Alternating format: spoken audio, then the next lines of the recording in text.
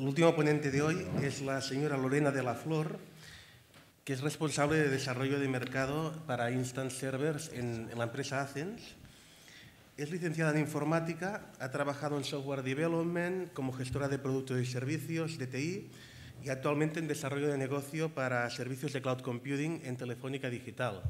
Athens es una empresa participada al 100% por Telefónica.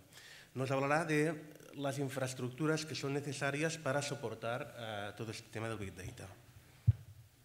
Muchas gracias. Eh, buenos días, gracias a todos por estar aquí. Tengo la suerte y la desgracia de ser la última. Suerte porque, pues bueno, puedo contestar y puedo enlazar un poco con mi ponencia, con lo que han dicho mis compañeros. Y desgracia porque me habéis pisado todos los chistes. Ya lo que vaya a decir ya lo habéis dicho vosotros antes. ¿no? También, como Andrea, he puesto un elefante. Eh, me gusta mucho esta foto. Por cierto, no es mía. Conmigo el elefante siempre salía movida. Vamos a intentar, voy a intentar dar un enfoque un poco distinto de lo que... Distinto no, o sea, los principales conceptos los hemos visto a lo largo de, esta mañana pero quiero centrarme en la parte de infraestructura, en parte de, de bueno, muy bien, eh, hemos visto casos de uso, hemos visto necesidades, hemos visto cosas que, sería interesante hacer en nuestro negocio, eh, para los cuales el Big Data pues, puede darnos una, una respuesta. Eh, respondiendo también un poco a lo que comentaba Alfred, eh, sí que creo que estamos en un momento de, moda, de, hype de lo que es el Big Data, pero creo que el principal motivo es porque podemos. ¿vale? O sea, es ahora el momento porque ahora se puede, porque ahora existe una serie de limitaciones que, hay en el mundo de, del Big Data y ahora mismo existen las necesidades, las capacidades técnicas eh, para poder eh, resolver esa, esas limitaciones. ¿vale? Vamos a ver un poco cuáles son esas limitaciones o cuáles son eh, los condicionantes que, que, afectan al Big Data y cómo, cómo se pueden cubrir. ¿vale? La parte de necesidades técnicas, lo que hemos comentado ya, muchísimos volúmenes de datos eh, de fuentes diversas, distribuidas en diversos puntos, no estructurados, hemos hablado de, pues eso, estructurado a base de datos, todo muy mono, la información interna de la empresa, pero datos de otras fuentes, pues de redes sociales, pero también, pues eso, de call center, pues llamadas eh, que han tenido en nuestro call center y que se han traspasado del audio a, a texto plano, ¿vale? O weblogs, o bueno, diversas fuentes en un montón de, sitios. Eh, limitaciones de costes, también hablaba Alfred del tema del retorno de la inversión. Vamos a ver que ahora, gracias al cloud computing, no existe la necesidad tan imperiosa que existía antes de gastarse ingentes cantidades de, dinero en, una infraestructura para poder cubrir todas las necesidades de, cómputo que tiene una, una, plataforma de Big Data y que podemos, en vez de comprarla, alquilarla. ¿vale? Entonces, eh, la inversión también baja mucho y podemos hacer otro tipo de estudios de retorno de la inversión. Y el tiempo, los tiempos de respuesta, pues hemos hablado también del, del ser capaces de dar respuesta en tiempo real y no tan tiempo real, ¿vale? O sea, ya no solo hablamos de que sea en este momento, sino eh, con tantas cantidades de datos, a lo mejor antes necesitábamos semanas, no, perdón, meses en procesar eh, la información que teníamos, otra información de diversas fuentes que existían, y, y, ahora se tiene que poder hacer en un plazo pues, mucho menor y una vez tienes la información procesada, poder consultarla en el momento. ¿vale? Entonces, un poco estas son las tres eh, limitaciones, las tres cosas importantes que tenemos te que tener en cuenta en un proyecto de, Big Data. ¿vale? Vamos a ver una a una. Hadoop ha salido mencionado eh, anteriormente también en, varias ponencias. Eh, Hadoop ha supuesto una, una, revolución en este tema del Big Data, ¿vale? porque te permite acceder a, pues, a volúmenes muy, muy grandes de, información. ¿vale? Y, digamos que lo que hemos visto también antes, no es nada nuevo. La necesidad que tenemos todas las empresas de, de acceder a, al, al, contenido lo tenemos desde hace décadas, o sea, el data warehouse, el data mining, el business intelligence, todos estos conceptos han venido, llevamos ya décadas oyéndolos, ¿vale? Eh, efectivamente, ahora tenemos más fuentes de datos distintas, pues que proceden de, de muchos más sitios y tenemos, eh, al tener esos ciudadanos siempre conectados, dando información, al tener eh, muchas más fuentes de información, tenemos más capacidad de, de obtener en la coctelera datos que pueden ser útiles para nuestro negocio, ¿vale? pero gracias a Hadoop podemos eh, distribuir o podemos utilizar esos datos que están distribuidos y, procesarlos. ¿vale? Como comentaba también mi compañero, tengo los nombres porque soy fatal, Albert, eh, eh, este es una, plataforma en batch, es decir, procesa los datos, los modela y los deja, digamos, preparados para, para, su utilización, pero muy potente. Lo importante es que es muy potente. ¿vale? Eh, entonces es capaz de, de gestionar un montón de información en tiempo muy rápido lo cual hace que pues, eh, podamos gestionar todo ese volumen ingente de, de información. ¿vale? En cuanto tengáis SAMUA listo, habrá que probarlo y a ver qué, a ver qué tal funciona.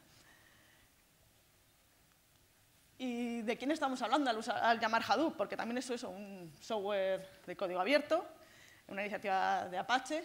Eh, aquí aparecen unas pocas empresas que todos conocemos y que también existen muchísimas empresas en otros entornos, pero que estas de aquí tienen algo en común. Son todas empresas en el mundo digital.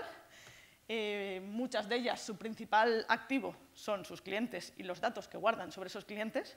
¿vale? Muchas de estas empresas no tienen eh, un producto, tienen un producto, pero no un producto de pago, con lo cual realmente el conocer a su, a su usuario es el punto fuerte para poder ofrecerle publicidad, ofrecerle productos específicos, etc.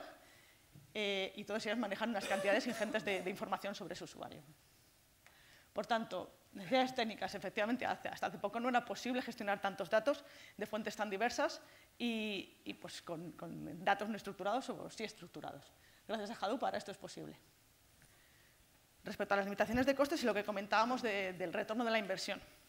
Si yo lo que hago es comprar la infraestructura que va a soportar mi sistema de, Big Data, tengo que tener en cuenta el máximo, la máxima capacidad que voy a necesitar. Es decir, yo en un proceso típico de, Big Data a lo mejor tendré una primera fase de modelado ¿vale? de datos, lo cual, pues bueno, tendré que coger todas las fuentes de datos que tenga tanto internas como de otros eh, puntos que consideren relevantes para la información que, o el conocimiento que quiero sacar y tendré pues, es una fase importante al principio de, cómputo, de tratar todo ese dato para sacar reglas. Es decir, lo que se, hace es un, modelo eh, eh, explicativo predictivo, es decir, se definen en función de la variable que quiera yo medir dentro de mi negocio, pues por ejemplo, si yo quiero saber eh, qué precio tengo que poner a un producto que voy a sacar nuevo o a qué precio tengo que poner a mi producto en, rebajas. ¿vale? Existe una curva de ingresos eh, respecto al precio, que cuanto más subo el precio, más ingresos obtengo, hasta que llega un tope en el cual, por mucho que suba el precio, como vendo menos, pues se va reduciendo el ingreso. ¿vale? Pues ser capaz de determinar ese punto álgido pues sería bastante interesante, por ejemplo. ¿vale? Eh, ¿Cómo se hace ese modelado? Pues lo que se hace es ver en función qué ha pasado en el pasado, o sea, se estudian datos, por ejemplo, entre cinco, porque lo que decíamos antes también, tampoco es necesario estudiar muchísimos datos, entre cinco años y dos años, ¿vale? Y se, se meten en la coctelera y se ve qué variables, dónde está la correlación eh, y que estadísticamente cómo funciona, qué, qué, ha pasado en el mundo para que de repente venda más, venda menos, con un precio con otro, o cómo ha funcionado el pasado, ¿vale? Y de esa manera se establecen reglas para predecir el futuro. Eh, en este caso pues, tendré un momento de cómputo pues eso, muy importante. ¿vale? Entonces, si dimensiono mi plataforma para ese momento, habrá otros momentos en los cuales no necesitaré tanta capacidad. Si queréis, lo avanzamos. Ahí tenemos un pico muy grande. Por supuesto, luego esto tiene que estar realimentándose. Cada vez que vendo que es alguna campaña, tendrá que volver a meterse datos nuevos en la plataforma y en el sistema. Lorena, dos minutos. Jope. Me estoy enredando muchísimo, ¿verdad? Bueno, tendré periodos con mucha capacidad y poca capacidad, ¿vale? Entonces, el comprar esta infraestructura dedicada, pues evidentemente es muy caro y muy ineficiente. En cambio, al usar cloud computing puedo alquilar o utilizar los, servicios, los servidores que necesito en cada momento según la necesidad de capacidad que tengo en cada momento. Con lo cual, pues eso, optimizo pues lo que es el, coste en cada, en cada momento. En este punto quería comentaros también el, tercer punto de, que hablábamos de las limitaciones, es el tiempo. Eh, evidentemente, Hadoop permite hacer una serie de cálculos, pero también es necesario que por debajo los servidores virtuales que te ayudan a reducir costes eh, tengan capacidad potente para que sean capaces de procesar toda esa información en tiempo lo más rápido posible. Entonces, en este caso os comento el servicio de Instant Servers, que es un servicio de telefónica que se comercializa a través de Accents en, España, que permite darte servidores virtuales de, alto rendimiento. ¿Por qué? Porque eh, esta es la plataforma que funciona en Instant Server y esta es una plataforma de virtualización normal.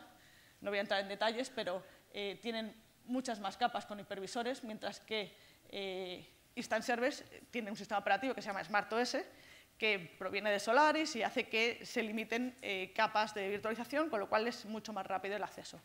¿Qué se obtiene con esta arquitectura? Pues que los servidores con Hadoop van tres veces más rápido que con una infraestructura equivalente, o sea, con la misma capacidad, eh, pues eso, se han hecho pruebas y funciona tres veces más rápido al meterlos en instant servers.